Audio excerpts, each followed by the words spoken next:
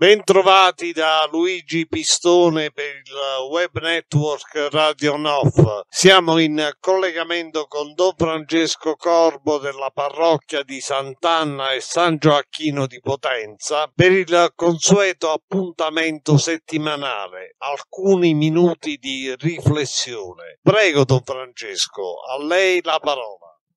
Da sempre nella Chiesa si è parlato dei martiri primi anni del cristianesimo noi abbiamo seguito un po' la storia degli apostoli, per esempio, che dopo aver, eh, essere scappati il venerdì santo uh, per la paura di morire insieme a Cristo, dopo aver fatto l'esperienza della tomba vuota di Cristo risorto, sono stati capaci di morire per dichiarare la loro fede in Cristo risorto. E tutti e dodici gli apostoli, fatta eccezione di Giovanni, sono stati uccisi per la loro fede in Cristo. E poi eh, abbiamo tutti i martiri del Colosseo, dell'epoca romana, eccetera, fino ai giorni di oggi, dove ancora continua il martirio dei cristiani.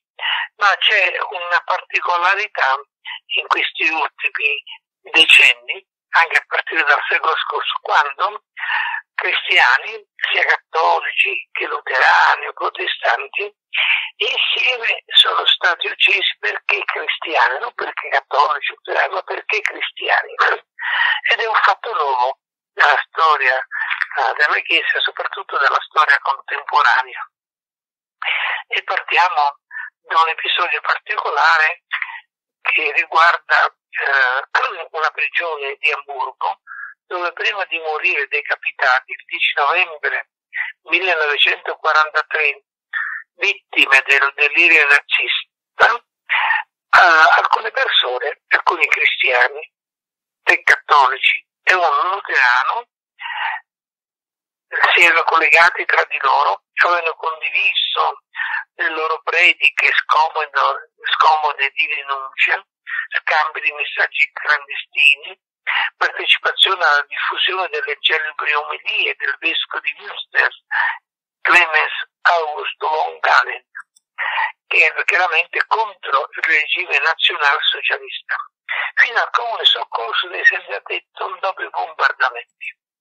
Con queste maniera essi davano la loro testimonianza più coerente della loro fede davanti alle persecuzioni da parte della Gestapo un commovente esempio di libertà.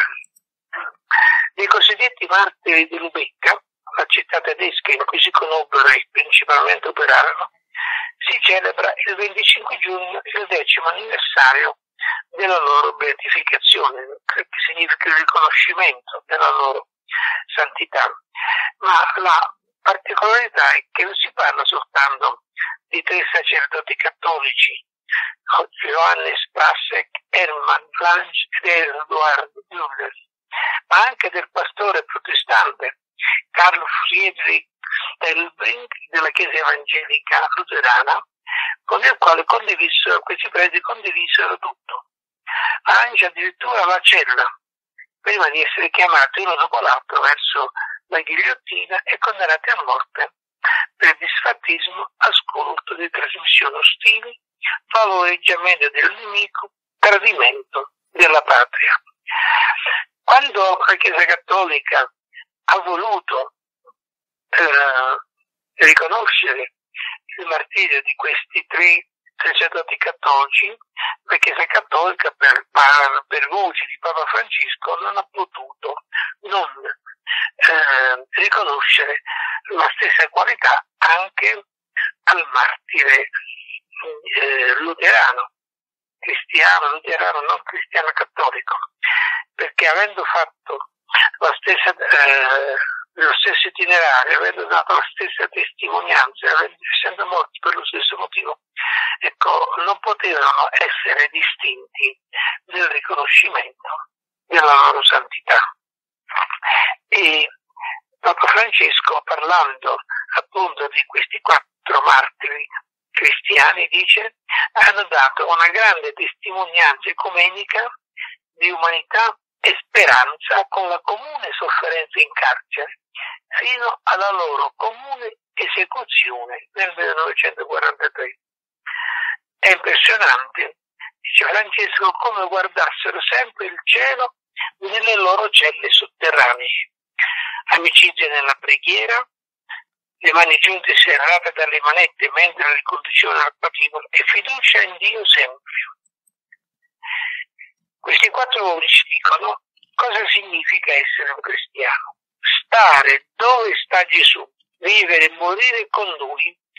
Osservo il cardinale Walter Casper, presidente del Pontificio Consiglio per la promozione dell'intero cristiano, nell'omelia della messa di beatificazione. E diceva il nostro ecumenismo è fondato sull'ecumenismo dei martiri. Noi abbiamo bisogno di cristiani dal pensiero ecumenico convinti della loro identità cattolica, evangelica, ortodossa che ne rendono testimonianza. Non a caso alla vigilia della beatificazione si è svolto ad Hamburgo un servizio evangelico in memoria di tutti e quattro i martiri, al quale partecipò anche l'arcivescovo eh, Werner Thyssen. Ecco, è un'esperienza bellissima, luterani cattolici che insieme, ognuno secondo i propri riti, secondo le proprie regole, riconosce il martirio di, di, di cristiani dell'altra confessione religiosa. I luterani riconoscono il martirio per la fede dei cattolici, i cattolici fanno la stessa cosa per il luterano. E ci ritrova dunque ad un ecumenismo da parte di questi quattro cristiani del, che possiamo chiamare ecumenismo dei martiri, ecumenismo del sangue. In alcuni paesi ammazzano i cristiani perché portano una croce o una Bibbia e prima di ammazzarli non gli domandano se sono anglicani, luterani, cattolici, ortodossi. Il sangue è mischiato. E c'è la testimonianza che dice che ad Hamburgo c'era un parroco che seguiva la causa di beatificazione di un prete cattolico ghigliottinato dai nazisti perché insegnava il catechismo ai bambini. Dopo di lui, nella fila dei condannati, c'era un pastore luterano ucciso per lo stesso motivo. Il loro sangue si è mescolato. E che seguiva la pratica, dice io seguo la pratica di tutti e due perché entrambi sono cristiani, non interessa se sono della Chiesa cattolica o della Chiesa luterana. Questo è l'ecumenismo del sangue, sono persone che con il sangue hanno dato la loro testimonianza allo stesso Gesù Cristo. Anche se dal punto di vista, diciamo così, dottrinale e teologico c'era qualche divisione. I quattro affrontarono l'esecuzione senza paura, quasi con gioia. A testimoniarlo sono le lettere inviate ai familiari. Meraviglioso lascito di virtù cristiana. Prima di morire, il luterano Stelbring scrisse alla moglie: Dio ti benedica e ti protegga. Dio protegga e benedica voi, amati figli. L'attesa è finita e finalmente torno a vedere chiaramente la strada davanti a me e la meta è ben nota. Non è difficile morire quando ci si affida alle mani di Dio. La testimonianza di questi quattro cristiani possa servire a noi oggi nell'impegno che stiamo portando avanti nel campo ecumenico e anche nel dialogo con gli ebrei e con i musulmani. Grazie Don Francesco, da Radio Nof è tutto, a risentirci alla prossima occasione.